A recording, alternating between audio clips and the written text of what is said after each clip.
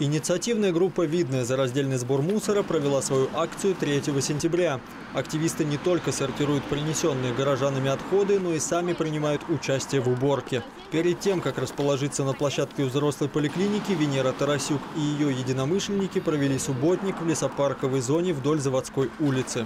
После окончания данной акции приезжает э, машина э, из э, компании «Экотранса» и уже перевозит данный собранный мусор на свою станцию сортировочную в Домодинском районе. Дальше они досортировывают данный мусор и передают на переработку. Первая акция состоялась в июне этого года. По словам главного идеолога, с каждым разом сдать мусор приходит все больше народу том числе семьи с детьми, которых сознательные родители с малых лет учат заботиться о природе. Дело в том, что привычные для нас отходы, банки, бутылки и упаковки разлагаются в течение 100, 200 и даже тысячи лет.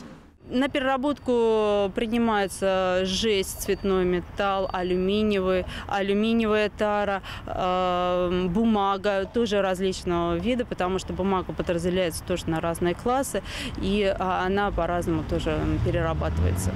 Раздельно собранные отходы станут вторичным сырьем для изготовления новых вещей и помогут сохранить природные ресурсы. Например, 100 алюминиевых банок хватит, чтобы сделать новую велосипедную раму.